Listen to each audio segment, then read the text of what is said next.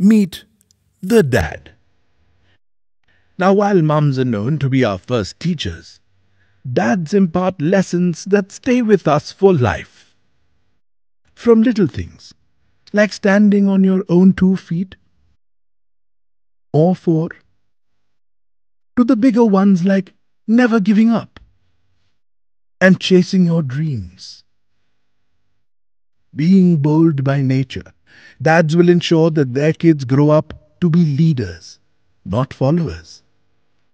But it's not like they lack a soft side either. Their love and concern teach kids how to care for their loved ones.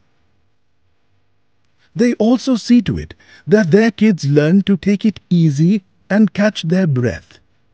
Because not everything in life is a race. And most importantly, they give their kids a crash course in all the life skills they'll need. The world is a tough place after all. It matters less whether they are four-legged or two, tailed or feathered.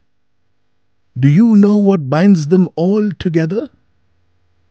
That they are the best at being our teachers for life.